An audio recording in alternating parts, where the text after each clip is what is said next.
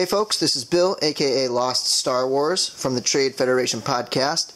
And I just got this loot crate in the mail, so I figured I would do a little unboxing because this is, I guess, a all Star Wars loot crate, or at least it's called the Galactic Loot Crate, and there are at least some Star Wars products in it. I know, I haven't opened it yet. I'm going to actually break the seal here, and I haven't seen anything about what's in it. All I know is that there's a Funko Pop vinyl that is a Star Wars figure, and I think it's an exclusive to Loot Crate. Other than that, I don't know. It doesn't doesn't look like a comic book would fit in there, so I'm kind of thinking there's no comic book. Maybe a T-shirt. Um, but let's open this thing up.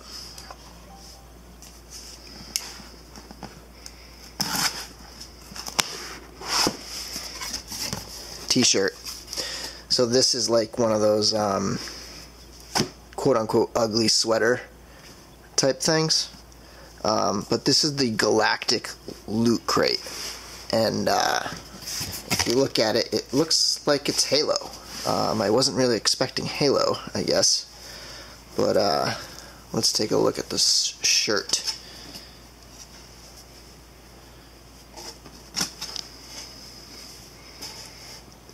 Definitely got a space theme, but it's got that sort of ugly sweater kind of trendy thing. Um, I'm not a big fan of that, so I'm not really a huge fan of this of this T-shirt. Um, all right, what else do we got here? It comes with like a case. It's like a um, ammo box type case. Let's see what's inside it. And let's see, Star Wars socks. Don't think I would wear those necessarily. BB-8 Star Wars socks.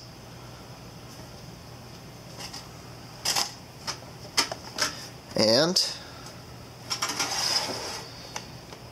Han Solo in his snow gear. Um, I'm not sure. Yeah, so this is older Han. You can see his like gray hair. So older Han in his snow gear with his blaster, and this is a loot crate exclusive figure. So that's pretty cool. Number 86. So Han Solo in his snow gear. So it's got like a galactic theme and also a winter December theme going on as well. Galaxy Quest, I love that movie, so this is pretty cool. This is a Galaxy Quest uh, patch, so that I, I like. Um, I don't really use patches or put them on anything, but I still like Galaxy Quest, so that's pretty cool. And then it looks like a pin, a Loot Crate December Galaxy pin. And what else do we have in here? Something to do with Xbox, Halo 5, and another Halo thing. This is the Loot Crate magazine that that has the uh, I think it has like the winners of the special crate from last time and picks, maybe preview, and then the the uh, ammo box, Halo 5 I do not play Halo. I know nothing about Halo. I think I played the first one for like four hours or something back in 2000. I don't even know when that was. And then the box itself is Halo style, I think, right? Yeah. So uh, that's what we have. We have the Han Solo, the ammo box, little storage bin. You could put like trading cards or something in there.